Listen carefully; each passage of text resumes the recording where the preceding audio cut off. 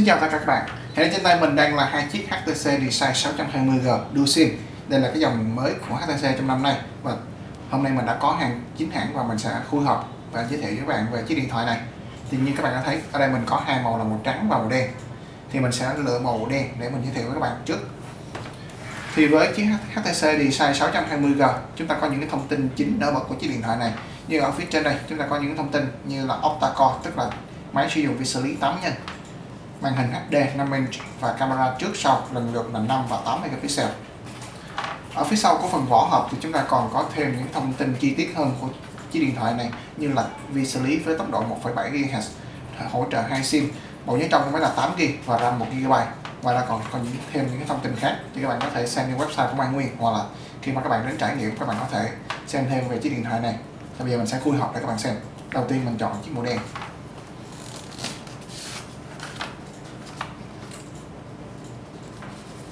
Cái dạng đóng gói thì rất là truyền thống của HTC với cái dạng hộp giấy cứng như thế này.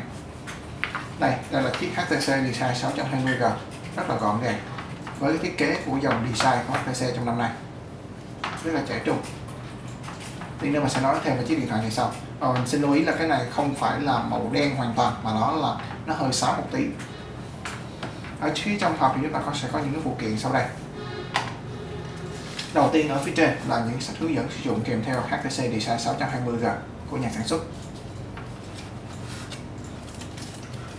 Tiếp theo, chúng ta có thêm một viên pin. Viên pin này khá là lớn. Mình mở ra cho các bạn xem.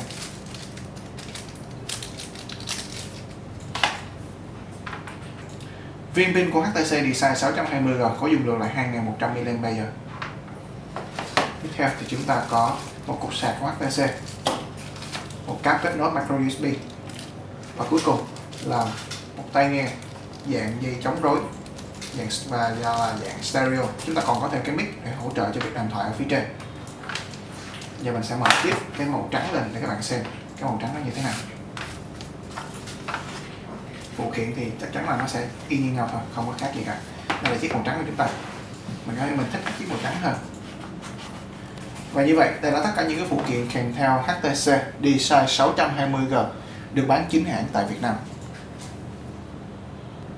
Cho nên mình hiện nay đang là chiếc HTC Design 620G thì trước tiên mình sẽ giới thiệu về cái ngoại hình của nó trước. Thì như các bạn có thể thấy, chúng ta có một cái ngoại hình giống như dòng design của HTC trong năm nay. Với ở phía trên là cụm camera, cụm cảm biến và cái phần loa ngoài cũng như đối xứng với đó là cái phần loa ngoài ở phía dưới. Thì mình sẽ đính chính là cái cụm loa ngoài này HTC chỉ làm cho nó đối xứng và nó đẹp.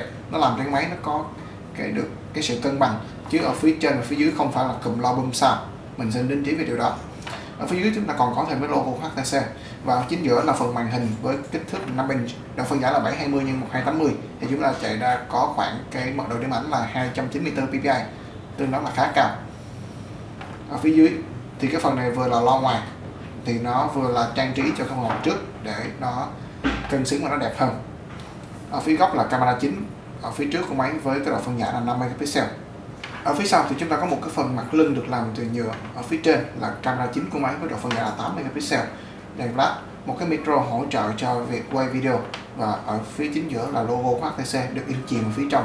Thì cái mặt lưng này tương đối là đơn giản và mình thích cái sự đơn giản của HTC khi mà họ làm mặt lưng của cái dòng design này ở phía trên thì chúng ta có cái jack cắm tai nghe 3.5 không có những cái hỗ trợ nào khác cả. Ở bên phải thì chúng ta có vị trí của phím tăng âm lượng và phím nguồn của máy. Tương đối là họ làm. Ở phía dưới là cổng micro USB và cái loa thoại của máy. Thì cổng micro USB này các bạn có thể sử dụng để sạc cũng như là kết nối với máy tính để chúng ta có thể truyền dữ liệu. Còn bên cạnh trái thì hoàn toàn không có phím chức năng nào cả, hoàn toàn trơn ở phần mặt trước thì HTC còn trang bị thêm cho cái HTC 620G là một cái phần nhựa. Các bạn có thể thấy là nó chạy dọc theo cái phần mặt trước của máy và làm cho cái phần mặt trước này rất là nổi bật với cái phần viền ở phía trong là màu đen, từ phía ngoài màu trắng sẽ làm cho cái mặt trước rất là nổi bật.